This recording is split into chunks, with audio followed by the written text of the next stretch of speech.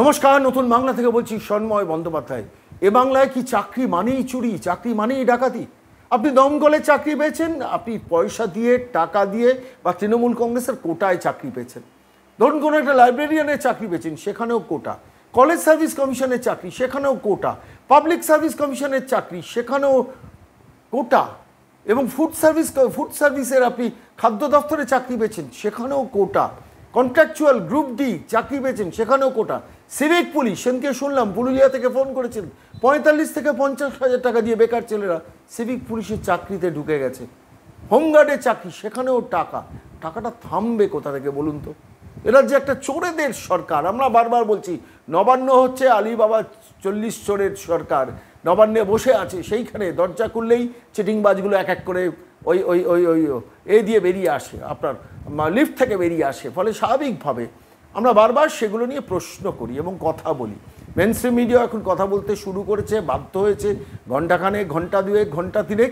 School শিক্ষকতার চাকরি, school service কমিশনের চাকরি হেলথ সার্ভিস রিক্রুটমেন্টের চাকরি নার্সিংয়ের চাকরি, ডাক্তারির চাকরি, লুট, সমস্ত লুট নিয়ে কথা বলতে তারা শুরু করেছে। সারা বাংলা যখন এই নিয়ে উত্তাল শিক্ষিত বেকার যখন, এরা যখন দীর্ঘশ্বাস ফেলছে, কান্নাকাটি করছে, ঠিক সেই সময় দাঁড়িয়ে, ঠিক সেই সময় দাঁড়িয়ে খুব সাইলেন্টলি আইপ্যাক পিকেট টিম তারা কি করছে? সেটাও জানা দরকার বাংলার মানুষের। এই মুহূর্তে আপনাদের শোনাবো, এটা অবশ্য নদিয়া থেকে আমাদের একজন প্রিয়জন, প্রিয় মানুষ ফোন করেছিলেন। তিনি একটি অডিও বার্তা আমাদের কাছে পাঠিয়েছেন। সেই অডিও বার্তাটা আপনাদের শোনাবো, যেখানে দাঁড়িয়ে তাকে পিকেট টিম কীভাবে ইন্টারোগেট করছে? দু হাজার চব্বিশে লোকসভা নির্বাচন কিংবা তার আগে পঞ্চায়েত নির্বাচন দু সেইটাকে মাথায় রেখে কিন্তু আইপ্যাক এখন সক্রিয়। মনে রাখবেন, আপনারা যারা নতুন বাংলার দর্শক, আপনারা অবশ্যই খেয়াল রাখবেন, আপনাদের কাছে এ ধরনের অচেনা, অজানা কোনো ফোন এলে সতর্ক থাকবেন। তার কারণ, এই ফোনটা আপনার কাছেও আসতে পারে। যে ফোনটা আমাদের একজন প্রিয় দর্শকের কাছে এসেছিল, সেই ফোনটার অডিও বার্তাটা রেকর্ডেড অডিও বার্তাটা সেই ভদ্রলোক আমাদের কাছে পাঠিয়েছেন। আপনারা শুনুন, সরাসরি কীভাবে টেলিফোনে তাকে ইন্টারোগেট করছেন, নানান অছিলায়, নানান কায়দায় বোঝার চেষ্টা করছে তাকে যে আলটিমেটলি কি কি তাদের দরকার সেগুলোকে তাদের কাছ থেকে বার করে নিচ্ছে।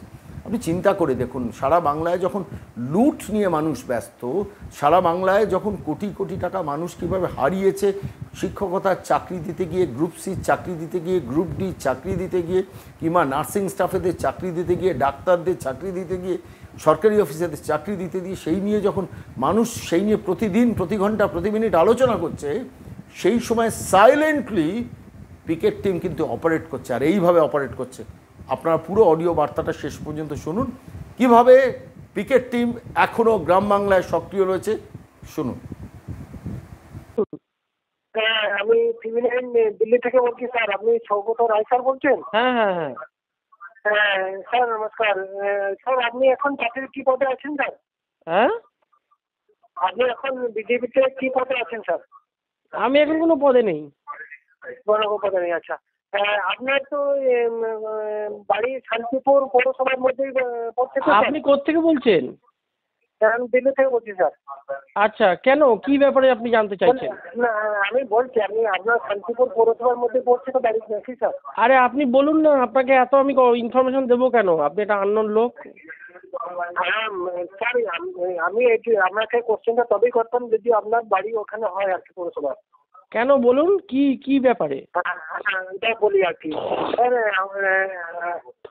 যখন এই যে শান্তিপুরে যখন পৌরসভা নির্বাচন হয়েছিল হ্যাঁ হ্যাঁ তখন কি বিজেপি পার্ষদরা যে মমতা ব্যানার্জি যারা যে যাদের চেয়ারম্যান যাকে ঘোষণা করেছিল তাকে সাপোর্ট করেছিল?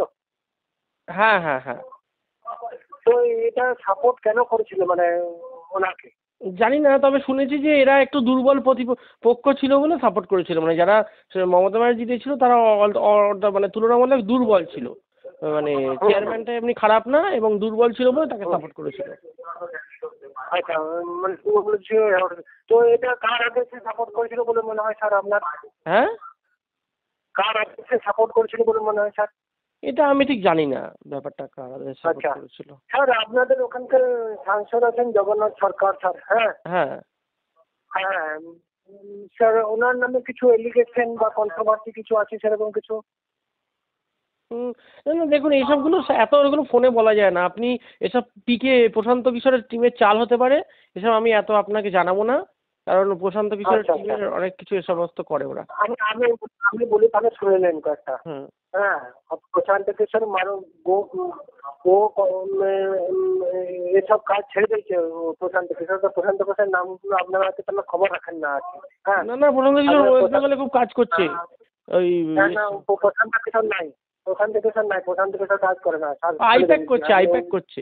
হ্যাঁ হ্যাঁ আইপ্যাক করছে আইপ্যাকের সাথে ওর সম্পর্ক এখন খতম হয়ে গেছে আর কি। না না ওর নিজের কোম্পানি আইপ্যাক কি করে খতম হবে? দেখো আপনি এসব এইসব ফোনে এত কথা আমি বলতে পারব না আপনাকে। আমি রাখছি। আচ্ছা আচ্ছা বলতে পারবেন না এখন ছাড়ুন না